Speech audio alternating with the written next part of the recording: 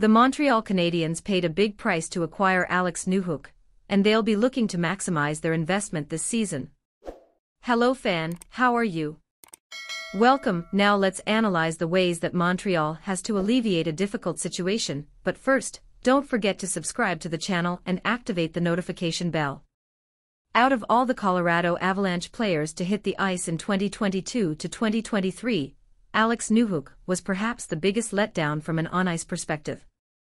After a stellar rookie season, which saw him put up 13 goals and 20 assists for 33 points in 71 games, the 22-year-old couldn't hit another gear in his play the following season amid all the injuries and ensuing opportunities with the former Stanley Cup winners.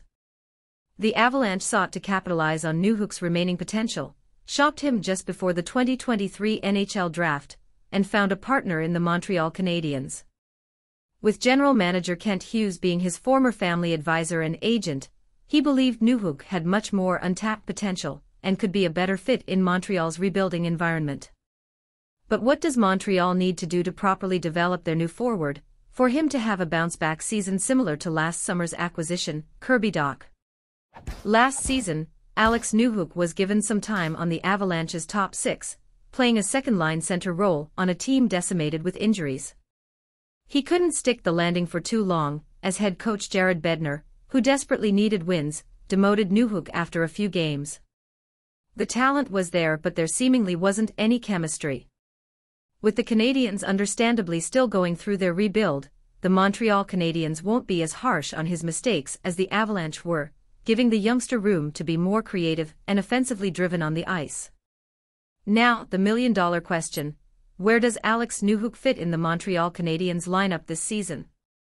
Although he's seemingly a lock to play on the second power play wave, it's where he plays at even strength that has sparked debate among the fan base. It seems unlikely that St. Louis would throw him right into the fire on the top line to start his tenure in Montreal, but a stint on the second line wouldn't be out of the question in normal circumstances. Either flanking Kirby Dach or Sean Monahan, Newhook would be a big help to either center, having been a center for most of his career and covering a lot of ice in the process. The injury to Christian Dvorak somewhat complicates the matter, as the Canadiens would then have Suzuki, Monahan, Dach, Newhook, and Jake Evans to cover at center.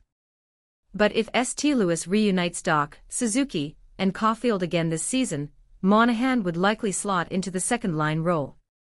As we saw last season, Jake Evans, an albeit serviceable player, couldn't hold down the third-line role with regularity, and that's likely where the Canadiens could slot Newhook to start the year as he gets acclimated to the new system. However, once Dvorak returns, it wouldn't be surprising to see the 22-year-old hold a permanent role in the Canadiens' top six, likely on the right wing next to Dach or Monahan. If he can manage to hold that spot and improve his offensive numbers, it'll go a long way in ensuring that Kent Hughes' bet on Newhook was a shrewd one. Well what do you think about this? Do you believe that this season Alex Newhook will show his full potential? Leave your opinion in the comments, I'd love to know what you think. And stay tuned to the channel because I'm always posting the latest news. Subscribe so you don't miss anything.